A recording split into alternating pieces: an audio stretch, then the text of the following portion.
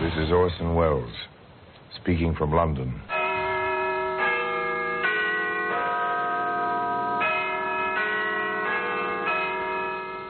The Black Museum.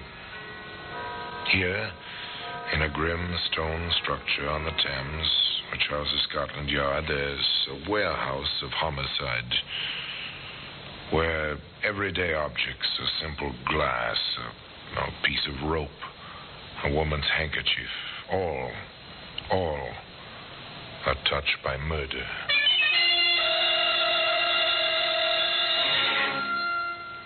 You take this, this iron bar. It's a familiar object, the handle of a jack. If you own a car, you have a jack handle.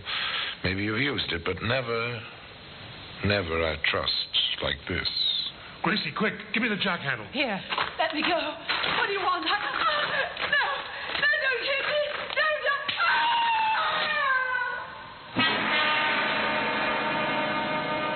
Today, you'll find that jack handle in the Black Museum.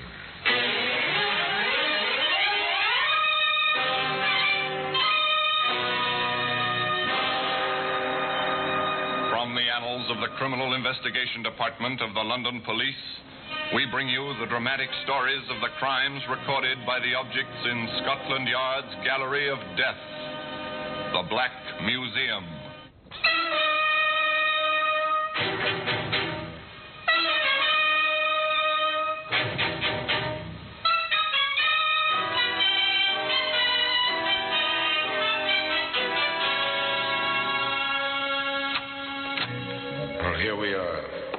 Museum. A few yards from here, the Thames laps at the riverside of Scotland Yard. But you never know it in here. Not in this long, dim, stone arched room. It's a kind of mecca, a goal to be reached by students of crime and criminology the whole world over.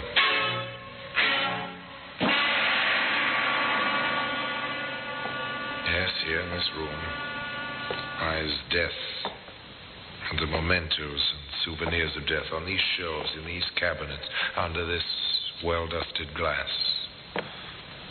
The weapons, the key clues of every homicide in which Scotland Yard has taken part for almost a hundred years. Now, here, in this case, the small white box. It's from Edinburgh. This death was in this box. Death by poison. The death of a too importunate lover. Now, this tiny pistol, it's oiled, it's in working order. A Derringer, it's called. The killer wore it up his sleeve. And one morning at 8 o'clock in the British tradition, the trap was sprung. The killer walked on thin air. The executioner received the customary 10 pounds. Ah, now, here's something more familiar a jack handle. It's intriguing. Once, according to the case book, yes, that's the story. A tale which begins innocently enough when London lived in the blackout. And many American men found their after dark amusement in tiny, hole in the wall Think cafes. of me always, though we're far apart. Keep a tender memory within. Well, look around. Small tables crowded together, not much light. Pretty stuffy. The blackout curtains, the double blackout door don't help the ventilation much. The girl singing is pretty in a tawdry sort of way, provocative in the manner of a cheap pin-up, but the two young men in the American uniforms don't seem to mind. How's about it, Tom? Not bad for a dive? Not too bad. Five will get you ten. It's out of bounds. Yeah, not yet, son. Just open. The MPs haven't cased the joint yet. Oh, good deal. Oh, nothing to worry about, kid. Well, who's worried? What can they do? Six months in the stockade, maybe? That's okay with me. Apparently, at least one of these gentlemen is over the hill. now, their interest has shifted, and quite naturally, of course. You think she has to sing for a living? It can't be much of a living. She's not too bad. Maybe she dates.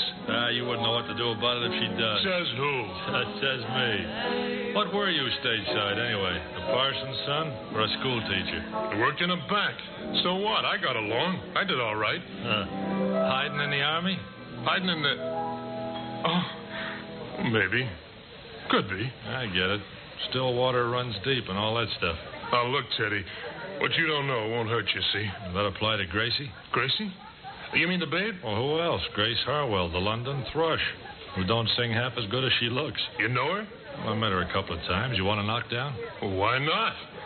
Now? Well, sure. Gracie, let's see your speed, son. You got a ringside seat. Well, pity. The Yank who thought he'd take Soho single-handed. Sit down, Gracie. What'll you have? My regular. Who's your friend? Oh, meet Private Tom Bennett, Gracie Harwell. Hi. Hello, soldier. Let me get your drink, Gracie. Faster that way. Hey, what about your ringside seat? I'll be back in time. That fast you can't work. Uh, Grace, Yes? how would you like to help me win a bet? well, this is a new approach. Good. Now, look, all I need to win is a date with you, see, for tomorrow night. Well, how about it? After the show? You want furlough? Maybe. Maybe not. I'll be in town tomorrow night. Got a car with petrol? No, but I will have. You say that like you meant it. I will have a car and gas. When and where? Well, I'm not saying for sure, but be outside at one o'clock in the morning. You may win your bet.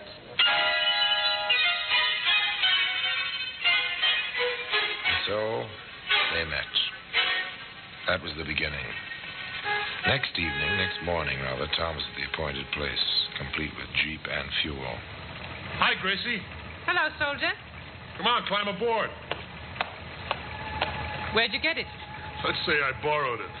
Shall we go? Why not? A boy, a girl, a jeep. and the London blackout without benefit of Jerry planes and bombs. A time to relax, to make an impression on the girl. The former bank clerk made his play to the girl who sang club dates on the seamy side of London. It's too bad. No moon tonight. The moon means bombers. At this point, that's not too bad. Well, that's silly. Oh, look, bombers mean there's a war on. No war, I wouldn't be here. Well, what's good about that, being here? I could itemize. One, I met you. Let's leave it at that. You start early. That's the States. Don't waste time. You didn't waste time borrowing the Jeep. What's one Jeep, more or less? I worked in the carpool. I know my way around. You must. You went back to get the car. What are you getting at, sister? The car? It's out without a pass.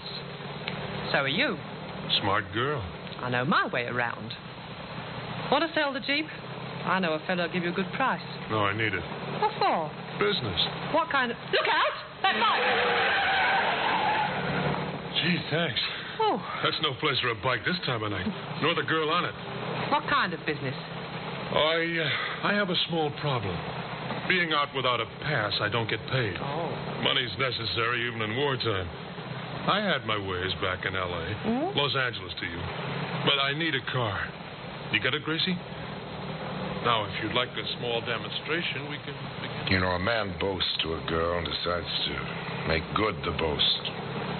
This very modern variation on that theme consisted of stopping the Jeep at the side of the road, cutting the engine, waiting. Half amused, half interested, the girl sat quietly as the soldier climbed out of the car and stationed himself in the shadows. Along the road came the bicycle. The girl on it pedaling swiftly, her thoughts a thousand miles away. She drew alongside the parked, half-hidden jeep. Okay, sister, I'll take that bike. Here, what's the idea? I've got to get home. I want that bike, you hear? Oh, I won't give it. Shut up. You want one across the mouth? Oh, no, you leave me alone. You leave me alone. You leave me alone. How was that, Gracie? And she left her bag. There ought to be enough left in it for a couple of beers. So that's the way you do it in L.A. Yeah. You're all right, Tommy.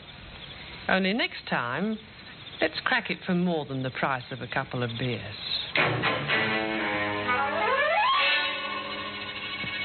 Next time was the next evening, but early, before the bars closed. Gracie, the pin-up, said, I won't go to work tomorrow night, and I know a spot off by itself. With a Jeep, we can get away fast, like you did it in L.A. And they drove up to the spot, a small pub on a side road, and Gracie said, Let's get to it, Tommy. They've got customers. That means money in the till. but Tommy hesitated, and he said, Too many.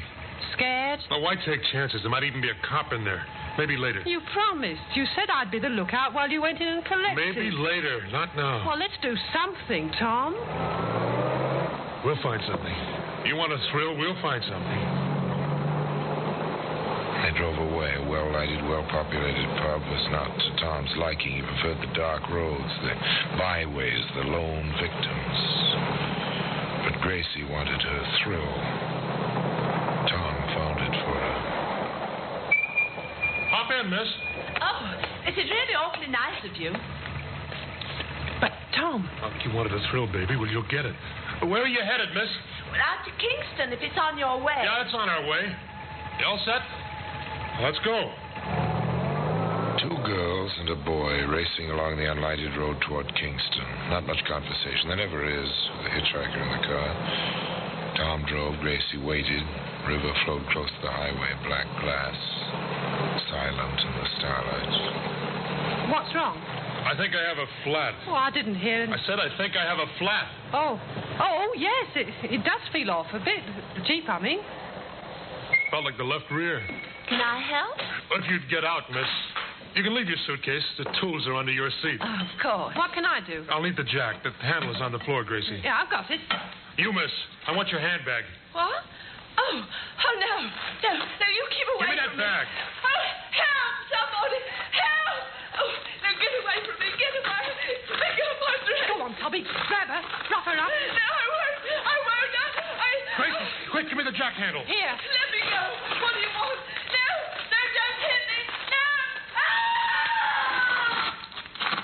Fight back, will you? Hit her again, Tommy. Hit her. What for? She's done. We got her stuff. I think she's breathing. So what? Give me a hand. What do we do with her? Into the river. What do you suppose I picked this place for? Get her feet. Stop them. Now, into the drink she goes.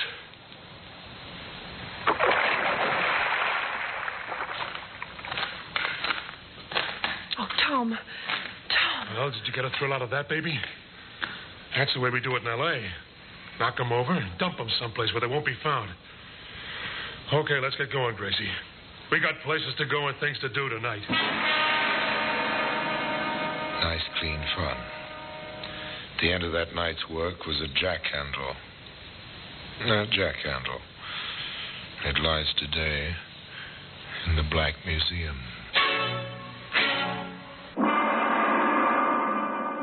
Just a moment, we will continue with The Black Museum starring Orson Welles.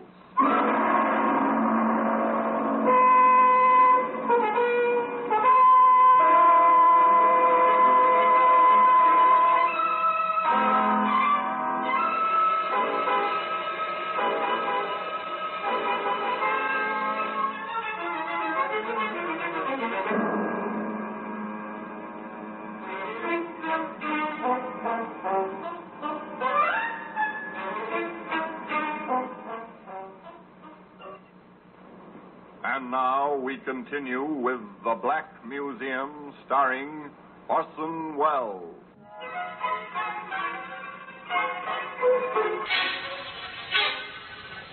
It was to be some time before the jack handle came to rest in the Black Museum. A trail of blood and misadventure was yet to be blazed through wartime London. Tom and Grace were amateurs at crime like this, but they knew enough to cover their tracks. They ditched the Jeep, parking it in a rubbed street. They took cover during daylight, but night and the blackout were their cloak as they prowled for further victims.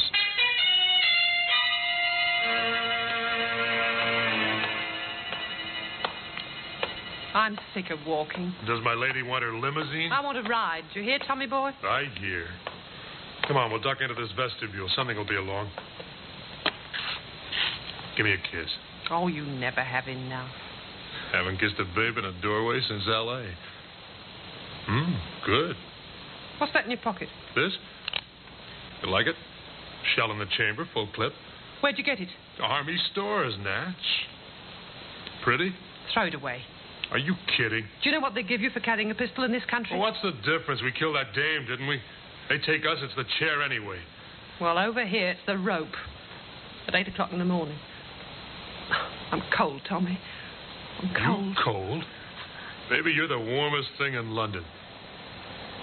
What's that, a car? Must be. Come on. Throw the pistol away. You want to ride, don't you? Hey, driver, give us a lift. He's stopping for us. Obliging fellow, isn't he?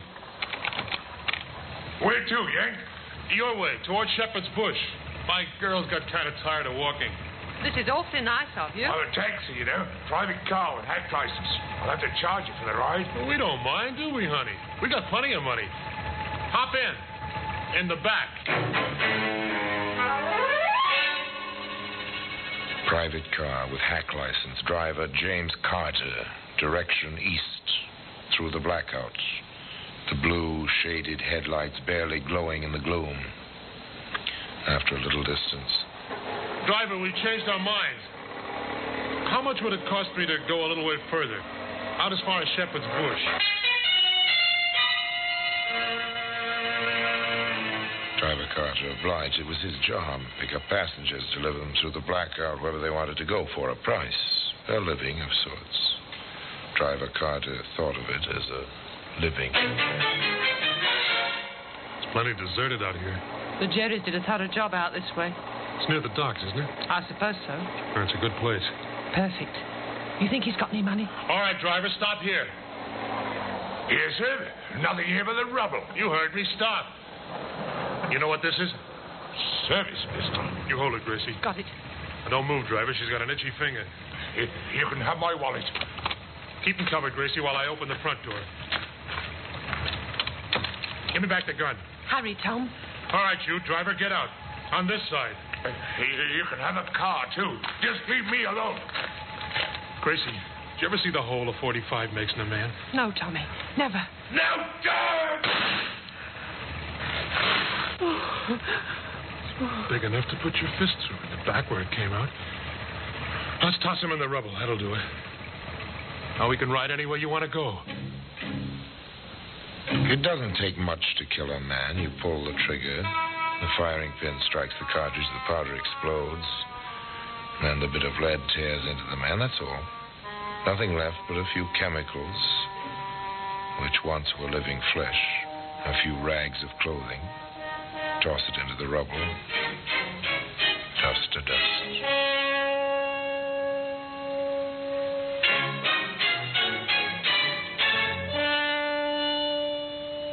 Dawn. Dawn comes to the warring city. The sun touches the rubble. The sun moves warmly over the cold rubble, over the dead. The night watchers start home. The fire wardens, weary but relieved after a quiet night, take a shortcut toward their breakfasts a few hours' sleep. Margie. Hey, what's that? Body, seems like. This area was cleared out months ago. He's fresh, that one. Eh, Let's have a look, shall we? They had their look. It wasn't pleasant. Shot through the chest. Stay here. I'll find a call box. The fire warden placed his call. He rang straight through to Scotland Yard. A short while later, a man picked up the telephone on his desk. Inside the Greystone building on the Thames. Inspector Mason here. Sergeant Davis, sir. Go ahead, Sergeant. The body found in the East End, sir, shot to death. Large caliber from the size of the wound, probably a service pistol. Uh-huh. Identified as yet? The identity papers are still on him, sir. James Carter, taxi driver, private car registration, tag number RD7445. Uh-huh. The car? No sign of it, sir. Tire marks in the road. It's a thoroughly bombed area, sir. Very little traffic. Uh, another one. Very well. Send out the usual teletype. Description of the car. You know, check for relations, friends of the deceased. Well, that's all we can do for now. Routine. The teletype to all police stations. The constables memorize the details while they go on patrol. London is a big, sprawling city. The blackout isn't any help. That's all for now.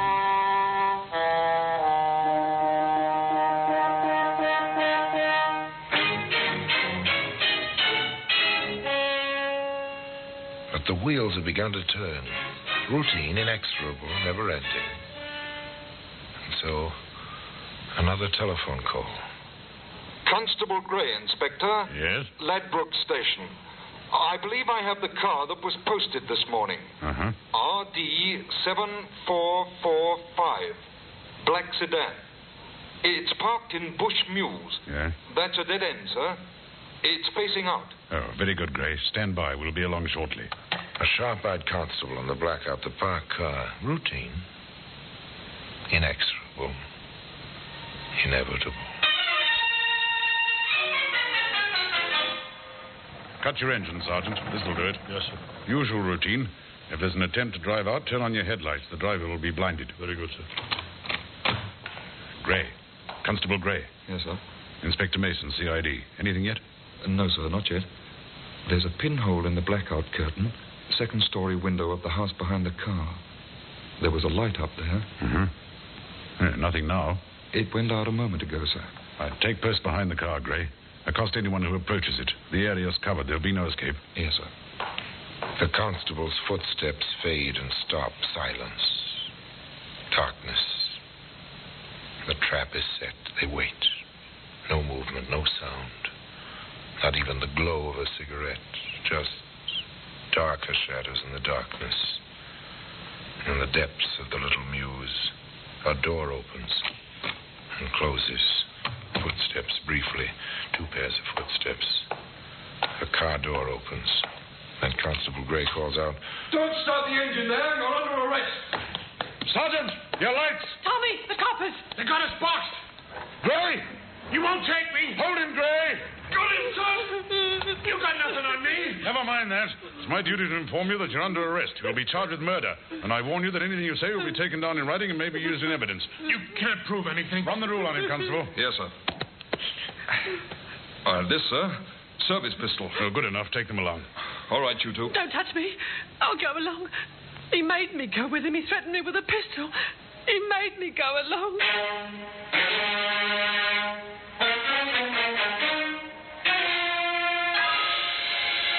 That was her cry. All through the trial, which followed swiftly.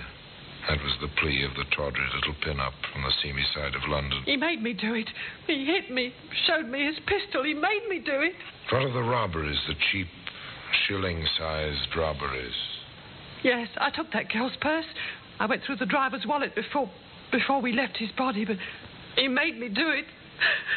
You've got to believe me. He made me do it.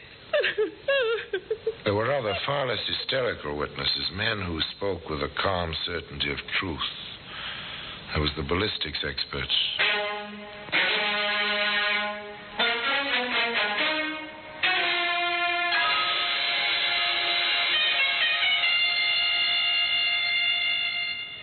Uh, there is absolutely no doubt.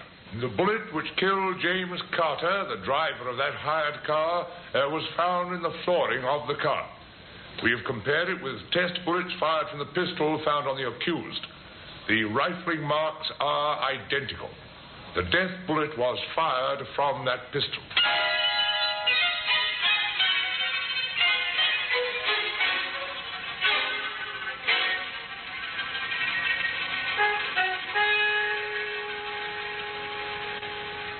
Bennett, accused of murder, wanted for desertion by the United States Army, former bank clerk. He played his role defiantly. I tell you, she's framing me. This whole deal was her idea. You should have seen the bang she got when she watched what was going on. Now she's trying to pass the buck to me. And with customary thoroughness, Scotland Yard turned up a surprise witness. Yes, those are the two. She gave him the jack handle and he hit me with it. They threw me in the river. The lorry driver found me. I know them anywhere. He made me go along. He made me.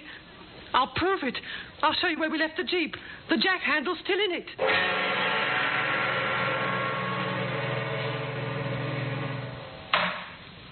Gentlemen of the jury, have you reached a verdict? We have, my lord.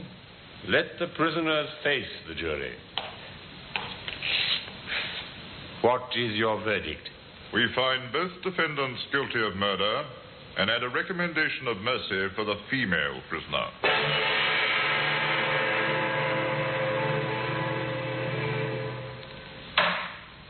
Oh, yes, juries behave somewhat strangely at times. This one was impressed with a plea of compulsion, but not Quite enough, it seems, to acquit Grace Harwell. Thus, it came about in due course that the judge pronounced the sentence.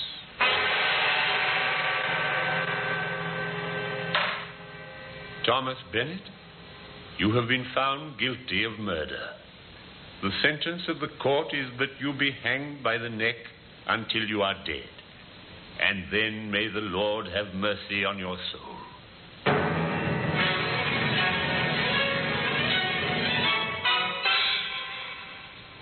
On Grace Harwell, the judge pronounced the same terrible sentence. But the jury's recommendation for mercy led the Home Secretary to commute this to penal servitude for life. A lifetime for Grace Harwell to remember. He made me go along. He made me go along. No jack handle. It lies today in the Black Museum. So much for the story of Grace and Tom. Tom's life ended on the scaffold. The life of Grace Harwell continues in the drab monotony of Holloway Prison. The service pistol, of course, uh, and the jack handle remain in their places, their special places of honor, on a shelf in that curious room which is known in Scotland Yard as the Black Museum. And now, until next time, till we meet again in the same place, and I tell you another story of the Black Museum, I remain as always, obediently yours.